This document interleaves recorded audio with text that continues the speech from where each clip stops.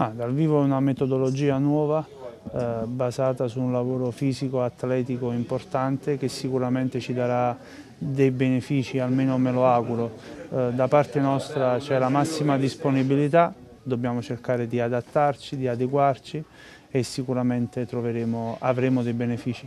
Conoscete meglio di me il mister, i suoi metodi di lavoro, non conoscevo però, come ho detto prima, la sua ironia e quando una persona è ironica significa che è una persona molto intelligente. Cosa è cambiato rispetto al Pescara di Oddo oltre al risultato?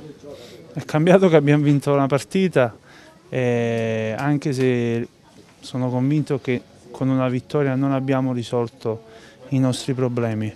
Bisogna dare continuità alle prestazioni, sappiamo che la classifica è difficile, il campionato è impegnativo, però se dovessimo dar seguito alle prestazioni come quella di domenica è ovvio che la nostra autostima aumenterà e così potremmo ottenere sicuramente dei risultati migliori. Eh, noi abbiamo sofferto insieme ai tifosi, insieme alla piazza, insieme alla società eh, per i risultati che purtroppo non sono arrivati negli ultimi tempi e capisco anche la, la rabbia, la delusione dei tifosi così come ho percepito la gioia e il calore di domenica quando abbiamo terminato la partita giocando una partita fantastica e vincendo, vincendola direi meritatamente contro una squadra Quindi come il Genoa.